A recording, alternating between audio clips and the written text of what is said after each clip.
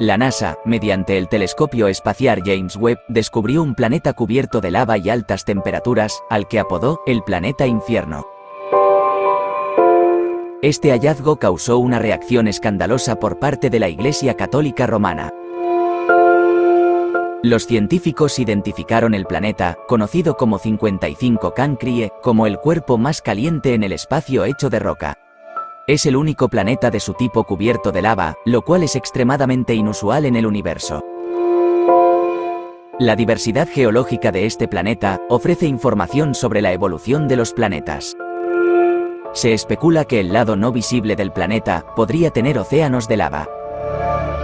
El planeta orbita alrededor de una estrella similar al Sol, a una distancia de 2,5 millones de kilómetros, y completa una vuelta en 18 horas. A pesar del descubrimiento científico, la Iglesia Católica argumenta que el infierno no es un lugar físico y que el planeta no está exento de la presencia de Dios.